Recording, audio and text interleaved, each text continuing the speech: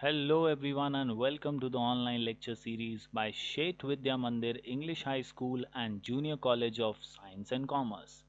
Myself Jayesh Rajgor and today we are going to study 12th Standard Economics, new syllabus, chapter number 5, Forms of Market. My dear students, in the previous video lectures, we studied about market.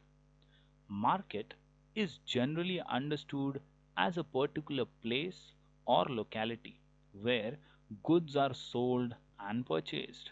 But my dear students, we understood that in economics, market refers to an arrangement through which buyers and sellers come in contact with each other directly or indirectly and exchange of goods and services takes place among them. My dear students, according to Augustine Cournot, Economists understand the term market, not any particular marketplace in which things are bought and sold, but the whole of any region in which buyers and sellers are in such a close contact with one another that the prices of same goods tend to equality easily and quickly. Thus, market is a network of dealings between potential buyers and potential sellers at any point of time, a market will exist if there are buyers and sellers. Yes, my dear students, a market is a place where a product or service to be bought and sold is available. Also, it has a particular price to it. Similarly, close contact between buyers and sellers is essential. As well, knowledge about market is required. My dear students, Classification of market is done on the basis of place, time and competition. In the previous video lecture we saw how exactly on the basis of place market is classified into local, national and international. Where we studied local market is a market in which sellers sell and customers buy a product in the region or area in which it is produced. Similarly, a national market is in a given country. Each national market is governed by the regulation of its own country, whereas in international market it is a worldwide market in which buyers and sellers trade in goods and services across the national borders. While we talk about classification on the basis of time, very short period means for a few days or weeks in which the supply of commodity cannot be increased, whereas short period is a period in which firms can only make adjustments in inputs like labor to increase the supply of goods and services. Whereas when we talk about long period market, long run is a period of time in which all factors of production and cost are variable. In the long run, firms are able to adjust all costs it is for a few years, generally up to 5 years. Yes, my dear students, remember up to 5 years. Whereas when we talk about very long period, very long period is a production time that is so long that all inputs are variable. It is of more than 5 years. Coming on to the most important part of the chapter, classification on the of market on the basis of competition, perfect competition and imperfect competition. My dear students, in the previous video lecture we studied perfect competition, features of perfect competition as well as price determination under perfect competition.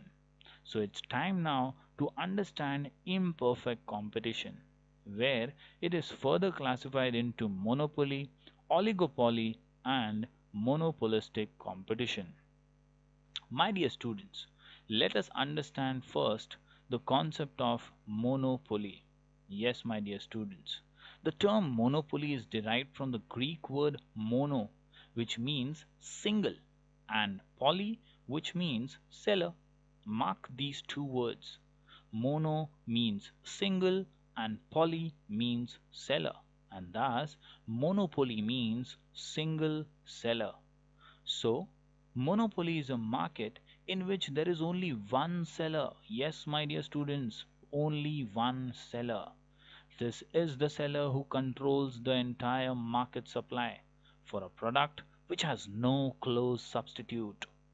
According to E. H. Chamberlin, a famous economist, monopoly refers to a single firm which has control over the supply of a product which has no close substitute. Once again, I repeat, my dear students, mono means single, poly means seller, and thus monopoly is a market in which there is only one seller, single seller market. Let us study monopoly in detail. Here are some important features of monopoly, namely single seller, no close substitute, barriers to entry, complete control over the market supply, price maker, price discrimination, and no distinction between firm and industry. So, let us study each point in detail. Single seller, as we studied just now, my dear students, monopoly is derived from the Greek word mono, which means single, and poly, which means seller. Monopoly is a market in which there is only one seller who controls the entire market supply for a product which has no close substitute. And thus, in monopoly, there is no competition as there is only one single producer or seller of the product. But the number of buyers is large. Moving on to the next point. The next point says no close substitute. Once again, I repeat, my dear students. According to E. H. Chamberlin, Monopoly refers to a single firm which has control over the supply of a product which has no close substitute and that is why this feature becomes very important. There are no close substitutes for the product of the monopolist. Therefore, the buyers have no choice. They have to either buy the product from the monopolist or go without it. No choice the cross elasticity of demand for his product is either zero or negative. Moving on to the third point. My dear students, it is barriers to entry. As we all now know, the term monopoly is derived from the Greek word mono, which means single, and poly, which means seller. Monopoly is a market in which there is only one seller who controls the entire market supply for a product which has no close substitute. So, my dear students, entry of the rivals is restricted due to legal, natural, technological barriers which do not allow the competitors to enter the market and thus in monopoly, there are barriers to entry. The next point is complete control over the market supply. My dear students, Chamberlin very clearly specifies that monopoly refers to a single firm which has control over the supply of a product which has no close substitute. And thus the monopolist has complete hold over the market. He is the whole and sole producer and thus he is the sole producer or seller of that particular product which gives him the power which gives him complete control over the market supply. He can completely influence the market supply moving on to the next point price maker this is a very important one my dear students this point has appeared in the board exams many a times in agree, disagree, short questions. A monopolist can fix the price of his own product. Yes, my dear students, as we all know now, the term monopoly is derived from the Greek word mono, which means single, and poly, which means seller. Monopoly is a market in which there is only one seller. I repeat, only one seller, and that is why he can charge any price he wants. A monopolist can fix the price of his own product as he controls the whole market supply. And thus, monopolist is a price maker. I repeat, monopolist is a price maker. Moving on to the next important point. Once again, my dear students, this point price discrimination has also appeared in the previous year board exams in give reasons, short notes, etc. My dear students, price discrimination in it itself is a very important point which shows how monopolist discriminates among different consumers. Yes, monopolist being a price maker, he can charge different prices to different consumers for the same product. Yes, my dear students, we just now studied a point called as price maker. We just now understood a monopolist can fix the price of his own product as he controls the whole market supply and thus he is the price maker. So remember, he can charge different prices to different consumers because the consumers don't have choice. So, on the basis of time, place, etc., he can fix or charge different prices to different consumers. Thus, price discrimination is an important feature of monopoly market. For example, students and senior citizens are provided railway tickets at concessional rates, railway being a monopoly of the government, and thus different rates are charged. So in this way, price discrimination is an important feature of monopoly market.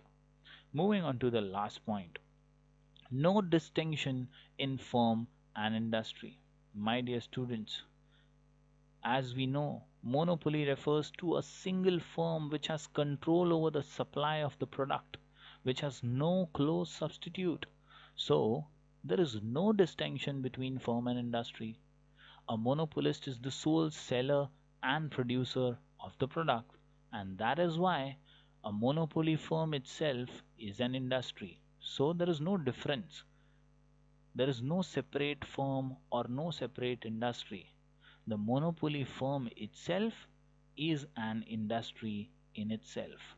And thus, my dear students, here we complete all seven important features of monopoly. I repeat, single seller, no close substitute, barriers to entry, complete control over the market supply, price maker, price discrimination, and no distinction between firm and industry. Remember, my dear students, the term monopoly is derived from the Greek word mono, which means single, and poly, which means seller. Monopoly is a market in which there is only one seller who controls the entire market supply for a product which has no close substitute. Also remember definition by E. H. Chamberlin where he states Monopoly refers to a single firm which has control over the supply of a product which has no close substitute. Hopefully this answer was very clear. In the next video lecture, we'll come up with some more interesting answers from chapter number 5 Forms of Market. Till then, stay safe, stay connected. Thank you very much.